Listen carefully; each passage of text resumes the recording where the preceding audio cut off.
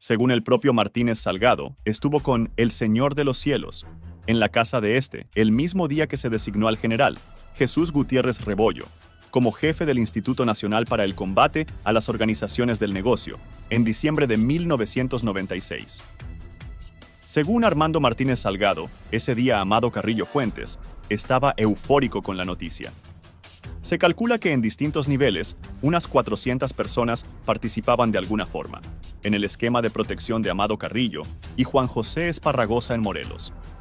De ellos, 300 eran personal operativo, quienes bajo el control de Martínez Salgado completaban sus ingresos con la participación en distintas privaciones, lo que explicaba el número tan elevado de estos en el Estado.